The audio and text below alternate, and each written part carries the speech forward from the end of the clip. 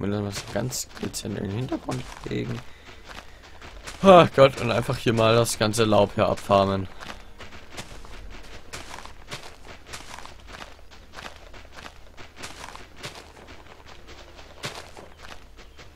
Stell dir doch mal vor, dass wir doch einfach liegen bleiben.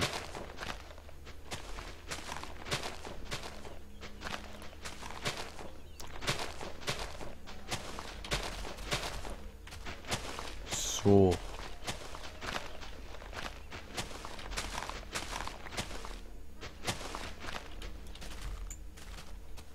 Hüp, hüp.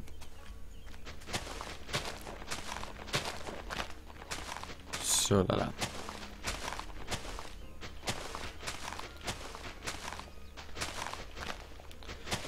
Wenn wir das jetzt mal... Ich weiß gar nicht, über was ich reden soll. Wo man hierfür eigentlich dringend irgendwas braucht, worüber man redet. Weil man sonst einfach, ja... Es ist doch total langweilig, oder? Also...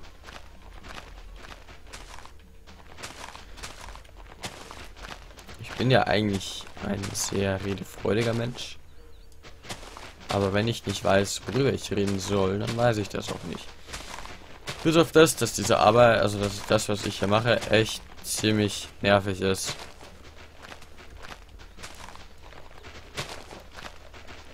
Also ich denke, teilweise wäre es echt sehr toll, wenn die einfach von Haus aus dieses Laub verschwinden einfach drin behalten hätten, immer. Ich weiß nicht, warum hat man das überhaupt rausgenommen?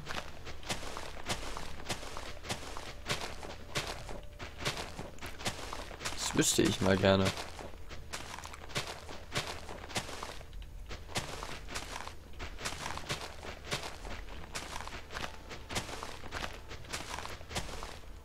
Das hat ja schon von Anfang an eigentlich super geklappt.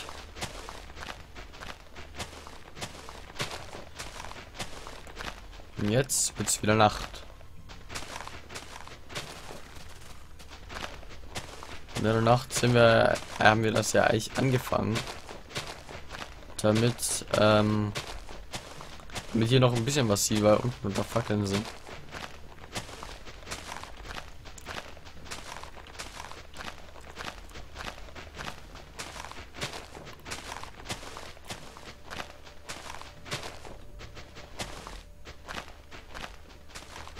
So.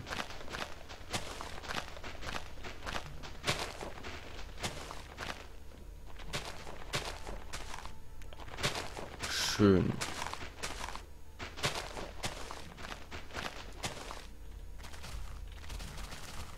Ähm.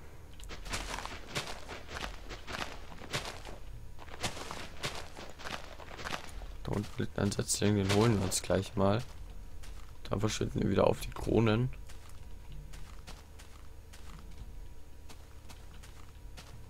Okay, wir haben noch einen zweiten großen Baum.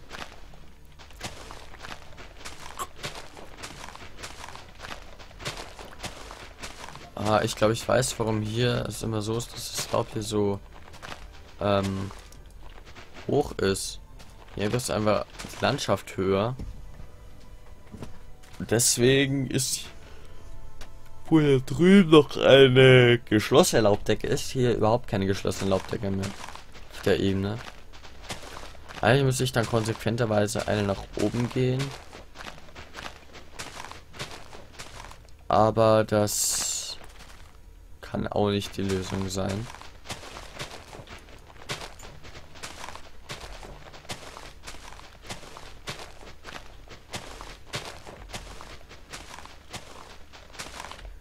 Das heißt, es kann sehr wohl eine Lösung sein. Ich rede nur sehr äh, gediegenen Schwachsinn. Eine Lösung, aber es ist eigentlich nicht mal ein Problem. Äh. Hier. Probleme gibt es noch genug. Es wird auch immer Probleme geben. Vor allem auf der Welt.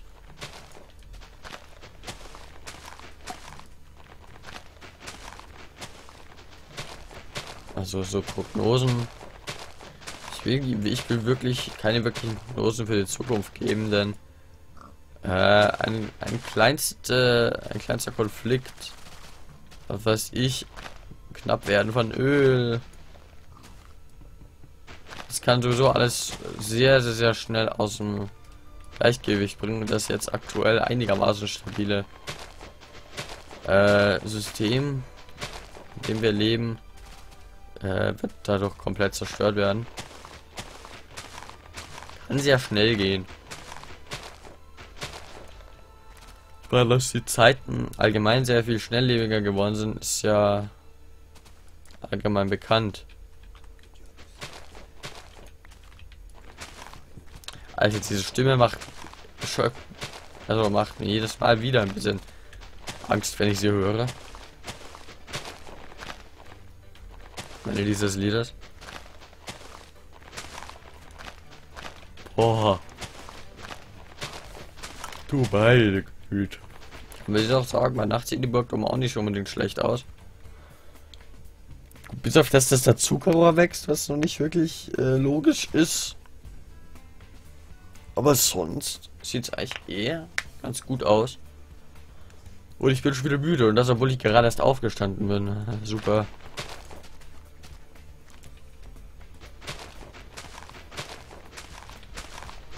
Glaube, das liegt halt wirklich an diesem Minecraft, an dieser extremen Dunkelheit in der Nacht, dass man davon wirklich tatsächlich müde wird. Ist natürlich gut für Let's Player, wenn man dann halt wirklich in der Nacht die ganze Zeit gähnen muss in der Minecraft-Nacht. Es ist bestimmt äh, wunderbar.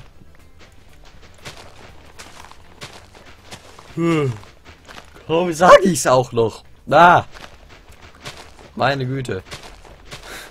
Muss ich mal anmerken. Äh, bei der letzten Aufnahmesession.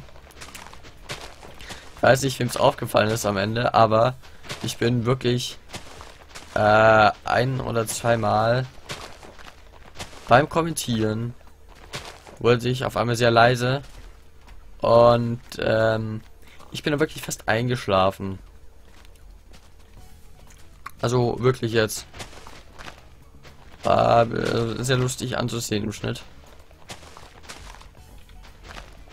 Also, das heißt, das sieht man eigentlich nur, wenn man es auch wirklich weiß, aber war ein sehr interessantes, eine sehr interessante Erfahrung wirklich äh, beim Let's Playen einzuschlafen. Also im eigenen Let's Play. Ich weiß jetzt, glaube ich, wie sich ähm, ungespielt in seinem 48-Stunden-Stream gefühlt hat, als er dann einfach eingeschlafen ist beim Streamen. So leicht. Es war also so sehr, sehr, sehr ähnlich habe ich mich auch gefühlt. So, soweit ich das zumindest einschätzen kann. Ich meine, ich weiß noch nicht, wie sich Simon dabei gefühlt hat.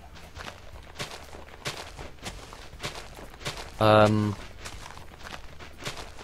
aber ist auf jeden Fall ein interessantes Gefühl.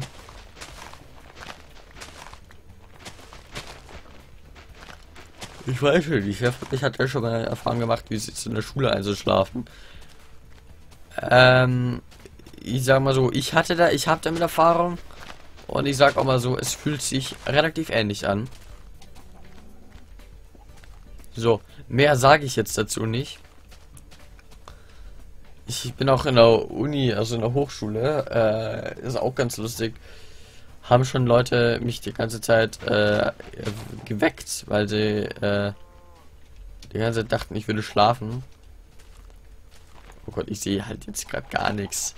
Ich entschuldige mich hierfür, ihr seht wahrscheinlich genauso wenig.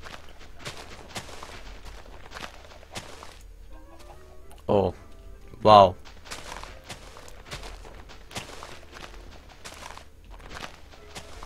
Na gut, dass da drüben die Sonne gleich aufgehen wird.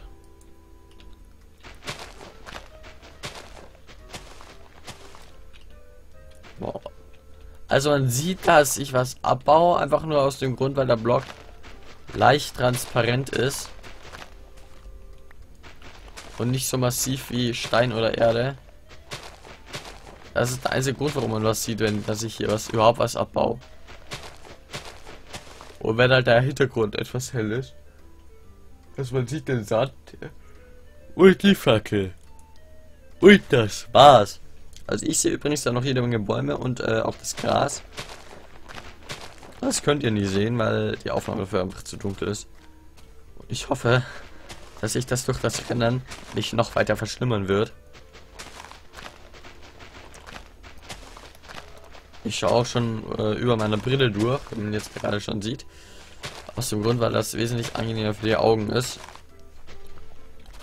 Ich durch die Brille dann nicht die ganze Zeit die Reflexion von dieser Lampe da habe. Da. Oh, cool.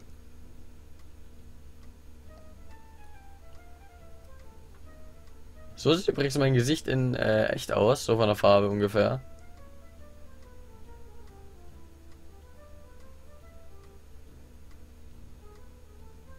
So. Aber durch die Ausleuchtung ist das immer so. Ist das nicht wunderschön? Also, ich finde es sehr beeindruckend. Oh, ich glaube, es wird langsam hell. Ja, man sieht gleich wieder ein bisschen mehr. Das ist doch mal toll. Jetzt sieht man auch wirklich... Ja, man sieht wieder was. Schön. Die Schafe da hinten sind jetzt weg. Gut, da, damit hätte man auch rechnen können. Vermutlich. Sogar müssten. Was ist passiert? Gut. Davon ist die Burg.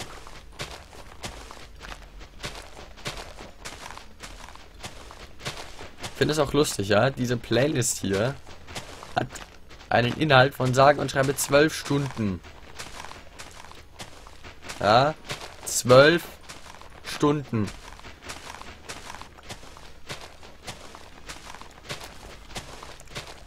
Und wir haben teilweise die Lieder schon zweimal in einer Aufnahmesession gehört. Das, da läuft doch irgendetwas falsch. Und die Lieder sind nicht doppelt in der Playlist drin, das kann ich euch garantieren. Das weiß ich nämlich. Ich glaube, ich habe mich extra aufgepasst, dass das nicht passiert.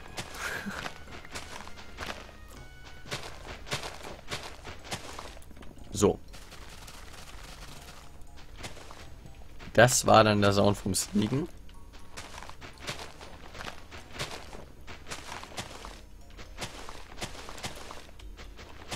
So.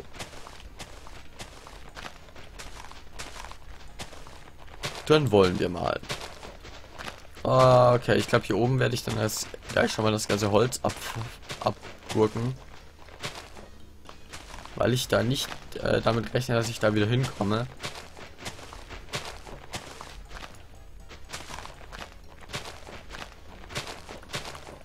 Also, gehe da sowieso nicht, aber generell auf die Ebene werde ich von unten wahrscheinlich nicht rankommen können.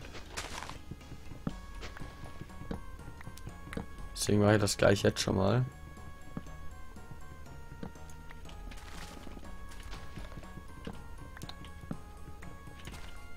So. Man sieht, wir kriegen zumindest schon mal mehr Setzlinge raus, als wir angepflanzt haben. Das ist doch schon mal gut.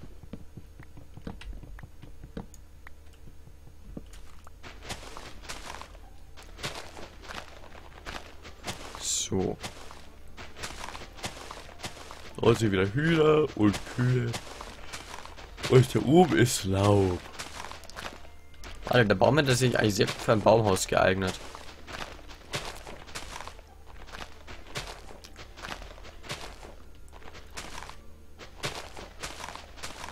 Das heißt, im Moment wäre es, glaube ich, hier sogar der perfekte Zeitpunkt, um ein Baumhaus in einem Baum zu bauen.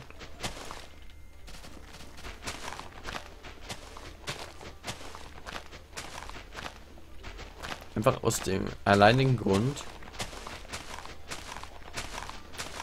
dass es gerade möglich ist,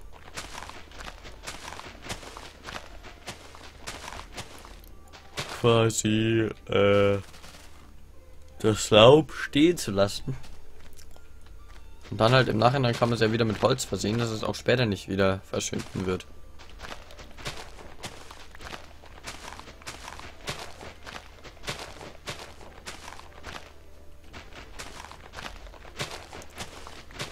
Andererseits eher, naja. Wird das wahrscheinlich auch, also. Wenn Baum was, dann muss man sich den Baum dafür, glaube ich, selbst